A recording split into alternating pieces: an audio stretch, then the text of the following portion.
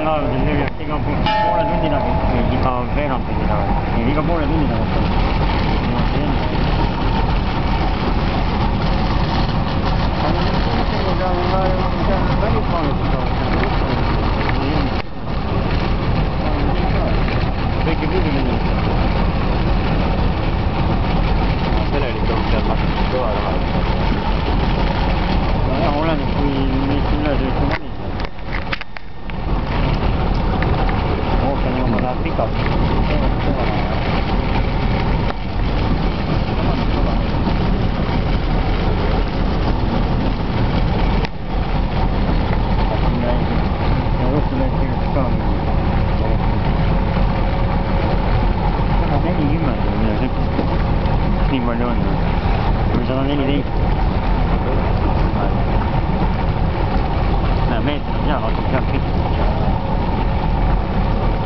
Friedland, wat ze voor